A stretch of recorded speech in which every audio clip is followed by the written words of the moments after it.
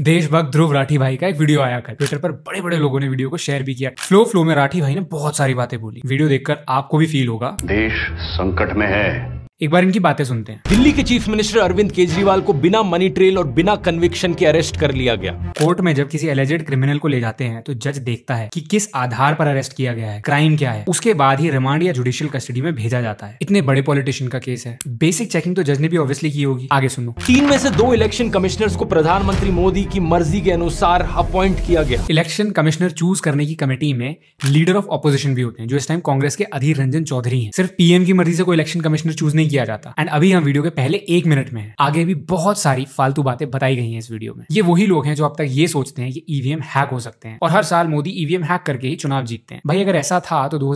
में जब मोदी जी जीते तब तो कांग्रेस की सरकार थी ना तब क्यों नहीं कर ली ईवीएम हैक खैर अब इतनी सारी वीडियो बनाने के बाद और ये सारे फैक्ट सुनने के बाद सभी लोग बोलेंगे मैं अंधभक्त हूँ बीजेपी से मैंने पैसा ले लिया है